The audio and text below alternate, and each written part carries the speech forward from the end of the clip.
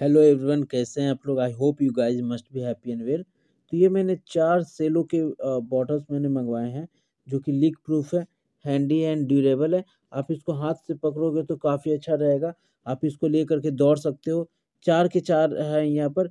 आप जब जिम जा रहे हो, वगैरह वगैरह तो यहाँ यहाँ आप इसको साथ ले कर के रनिंग भी, वगैरह भी कर सकते हो ट्रेडमिल पर।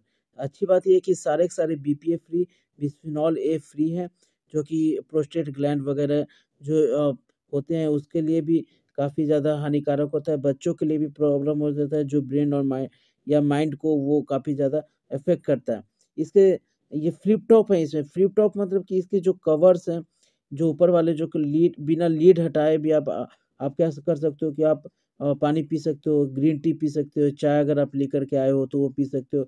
और ये दावा भी करते हैं कि ये सारे सारे ठंडे ही रहेंगे अगर वो ठंडा ऑलरेडी है और गर्म रहेंगे अगर उसके अंदर गर्मी ऑलरेडी है, जैसे गर्म चाय वगैरह।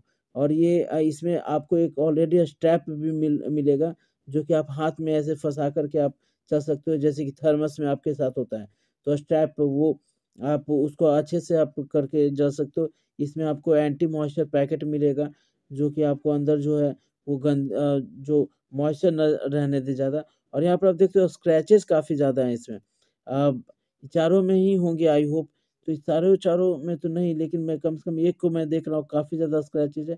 हालाँकि इसकी वजह से तो मैं नहीं लौटाऊँगा, क्योंकि ये एक महीने के बाद अपने आप ही इतना स्क्रैचेज आ ही जाते हैं।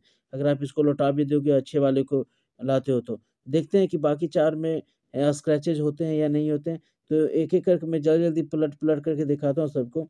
ये मैंने निकाल करके दिखाया आपको। इसमें तो मैंने ऑलरेडी दिखाया, ये वाकई में वाइड है इसका।